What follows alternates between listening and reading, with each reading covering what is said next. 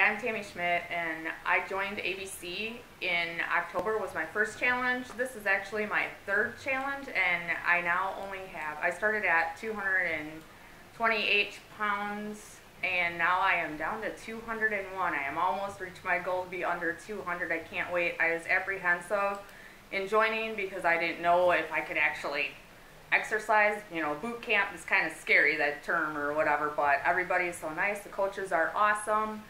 Um, I would recommend it to anyone that has to lose weight. And the eating, that's not a problem. I thought it would be a problem because I love sweets, and now I can take them or leave them. Um, and I just eat low carb diet, and it's no problem. There's lots of choices out there: veggies, veggies, veggies, and drink your water. Is well, all I can say. Is yeah, you end up floating, but coaches are awesome. So if you're thinking about it, join.